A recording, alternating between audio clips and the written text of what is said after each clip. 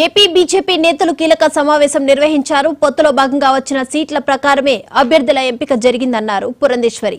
ఒక్కరికి తప్ప బయట వారికి టికెట్ ఇవ్వలేదని పసలేని ఆరోపణలకు తాను సమాధానం ఇవ్వలేనన్నారు పురంధేశ్వరి. రేపు బీజేపీ అసెంబ్లీ అభ్యర్థుల జాబితా విడుదలయ్యే అవకాశం ఉంది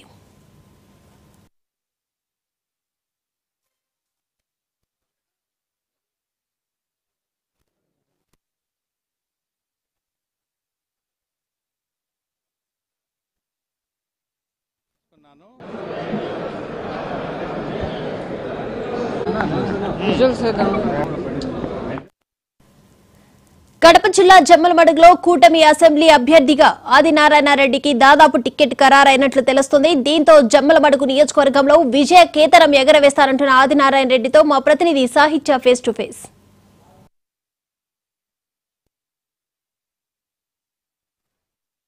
BJP party రాష్ట్ర పదాధికారుల సమావేశం అయితే ఈ రోజు జరిగింది. దానికి సంబంధించి అందరూ ముఖ్య నేతలతో పాటు ఎంపీ అభ్యర్థులు ఎవరైతే ఉన్నారో వాళ్ళందరితో పాటు అసెంబ్లీ అభ్యర్థులు కూడా చాలా మంది రావడం జరిగింది. దానికి సంబంధించి ప్రస్తుతం అంతా జమ్మలమడుగు నుంచి ఏదైతే పేరు ఎక్కువగా వినిపిస్తుందో సార్ చెప్పండి ఎట్లా చూస్తారు? ఇవాళ సమావేశం ఏం జరిగింది? ఏం మాట్లాడారు సార్ ఈరోజు ప్రధానంగా లోకసభ అభ్యర్థులు ఎవరైతే ఉన్నారో వాళ్ళ గురించి టాపిక్ జరిగింది.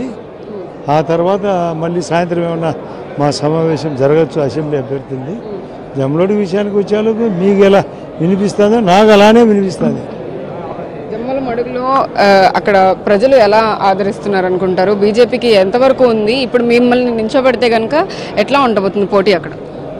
మేము స్థానిక ఎన్నికల్లో రెండు వేల ఇరవై ఒకటిలో బీజేపీ తరఫున కంటెస్ట్ చేసినప్పుడు చాలా వరకు సీట్లు ఓట్లు వచ్చిన విషయం వాస్తవం. ఆ రోజు తర్వాత ఈ మూడేళ్ళలో ఇక్కడ వైఎస్ఆర్ పార్టీ ఘోరాతి ఘోరంగా విఫలమైంది. ఆ స్థానిక ఎమ్మెల్యే కానీ ఎంపీ కానీ ఏ చిన్న మాత్రం పని చేసినా దాఖలేదు నేను గతంలో పని చేశా. నన్ను దృష్టిలో పెట్టుకొని బీజేపీ పార్టీ యొక్క డబుల్ ఇంజన్ ప్రభుత్వాన్ని దృష్టిలో పెట్టుకొని రాబోయే రోజుల్లో పూర్తి అనుకూలంగా ఉంటుందనేది నా యొక్క అనుభవంతో చెప్పేమాట వైసీపీ పార్టీలో ముఖ్యంగా ప్రధానంగా ఏవైతే ఏం ప్రాబ్లమ్స్ ఉన్నాయి ఎందుకు అందరు అభ్యర్థులు కానీ లేకపోతే నాయకులు ఎవరైనా ఉన్నా ఇప్పుడు సిట్టింగ్ ఎమ్మెల్యేలు చాలామంది స్థానచలనం చేసినప్పటికీ కూడా చాలామంది బయటకు వచ్చేయడం జరుగుతుంది. అసలు మెయిన్ బ్యాక్ డ్రాప్ ఏంటంటారు దానికి అసలు? ఎందుకు బయటకు వచ్చేస్తున్నారు వైసీపీ నుంచి? వైఎస్ఆర్ పార్టీ ఏ పని చేయకపోవడం. ఆయన ముఖ్యమంత్రి గారు ఎవరి కనీసం అపాయింట్మెంట్ ఇవ్వకపోవడం. వాళ్ళ యొక్క పరిస్థితులు చెప్పాలనుకునే చెప్పలేని పరిస్థితి. దానికి తోడు ఇష్టం వచ్చేట్టు అప్పులు చేయడము. తప్పులు చేయడము అరాచకాలు చేయడము అసలు కరోనా కంట్రోల్ చేయకపోవడము ఏ పాయింట్ ఆఫ్ వ్యూలో ఆలోచించినా ఇల్లు కట్ట ఇల్లు కట్టకపోవడము కట్టిన ఇల్లు ఇవ్వకపోవడము తర్వాత ఏ రోడ్డు క్లియర్ చేయకపోవడము తాగునీళ్ళు జయ జయం ఇచ్చినా కూడా డబ్బులు పట్టించుకోకపోవడము కొన్ని రేషన్ కార్డులు తీసేయడము భూ కబ్జాలు చేయడము గనుల శాఖను ఆక్రమించుకోవడము నిరుద్యోగ సమస్య పెరగడము ఉద్యోగస్తులకు సరిగా జీతాలు ఇవ్వకపోవడము రైతుల సమస్య మరింత పెరగడము చేనేత సమస్య పెరగడము దానికి తోడు మత్స్య కార్మికుల పరిశ్రమ పెరగడము భవన కార్మికుల సమస్య పెరగడము కాంట్రాక్టర్లకు బిల్లు ఇవ్వకపోవడము ఏది ఏ కోణంలో చూసినా అన్ని రకాలుగా ఫైలు. ఎంతసేపునే నాకు వాలంటీర్లు ఉన్నారు. నా ఇష్టం వచ్చినట్టు దౌర్జన్యం చేద్దాము. ఇలాంటి పప్పులు ఉడకవు కాబట్టి ఇప్పుడు ఆటోమేటిక్గా చాలామంది ముఖ్యంగా ఎంపీ అభ్యర్థులు జగన్మోహన్ రెడ్డి దగ్గర నుంచి పారిపోవడం జరిగింది. అదే కాకుండా అసెంబ్లీ అభ్యర్థులు కూడా. ఫెయిల్యూర్ ప్రభుత్వం అని చెప్తున్నప్పటికీ కూడా వాళ్ళు నూట డెబ్బై ఐదుకి నూట డెబ్బై ఐదు ఖచ్చితంగా సంపాదిస్తాం. ఈసారి ఎన్నికల్లో ఖచ్చితంగా వైసీపీయే విన్ అవబోతుందని చెప్పేసి చెప్తున్నారు. అంత ధీమా వ్యక్తం చేయడానికి కారణం? అసలు నేను చెప్పే మాట నూట డెబ్బై ఐదు కాదు. మరొక ఇరవై ఐదు ఎంపీలు మర్చిపోయినారు వాళ్ళు.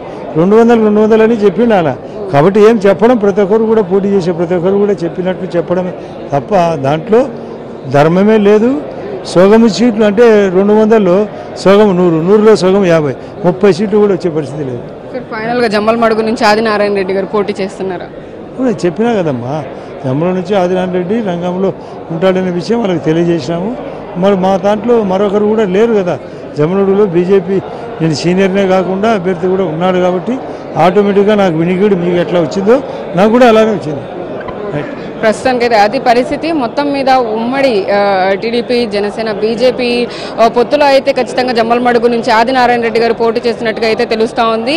దానికి సంబంధించిన లిస్టు కూడా రేపు సాయంత్రం వచ్చే అవకాశం కనిపిస్తుంది. ఈ సమావేశంలో అయితే ముఖ్యంగా ఏవైతే రాష్ట్ర ప్రభుత్వం చేస్తుందో వాటన్నిటి గురించి ప్రాబ్లమ్స్ జనాలందరూ ఏవైతే ఫేస్ చేస్తున్నారో దాని గురించి డిస్కస్ చేయడం జరిగిందని చెప్పేశారు. అది ఈ సమావేశంలో అయితే ముఖ్య కార్యాచరణ ఫ్యూచర్ ఏముంటుందో దాని గురించి మాట్లాడామని చెప్తున్నారు. ముఖ్యంగా వైసీపీ నుంచి వీడడానికి గల కారణాలు?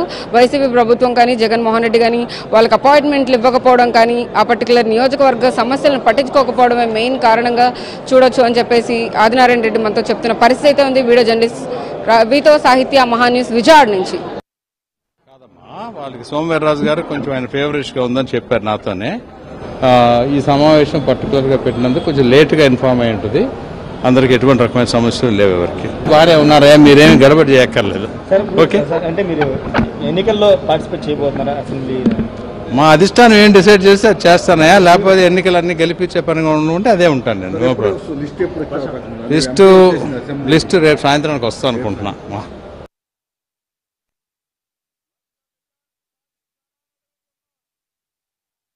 పూర్తిగా ఇన్ కెమెరా ప్రొసీడింగ్స్ గానే కీలకమైన నేతలు అందరూ